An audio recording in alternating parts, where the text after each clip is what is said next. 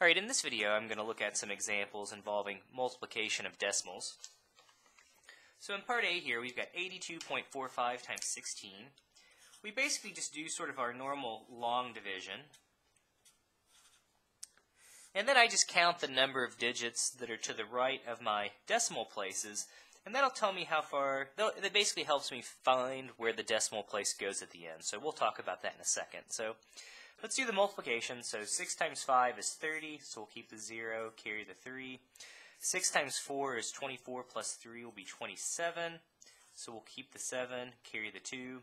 6 times 2 is 12 plus 2 is 14, so we'll keep the 4, carry the 1.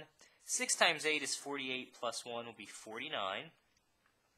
Okay, then I'm going to drop a 0 down, and then I'm just going to multiply everything by 1. So we'll just get uh, 1 times 5, 1 times 4, 1 times 2, 1 times 8. I do my addition. 0 and 0 is 0. 7 plus 5 is 12, so we'll keep the 2, carry the 1. Uh, 1 plus 4 plus 4 will be 9.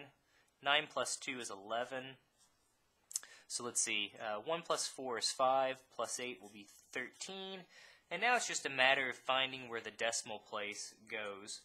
I basically look to the right of my, uh, my decimal sign in each number, and I count the number of digits. So in our first number, there's two digits to the right. You could think about adding in a decimal sign. Well, there's really no digits to the right of our second number, 16.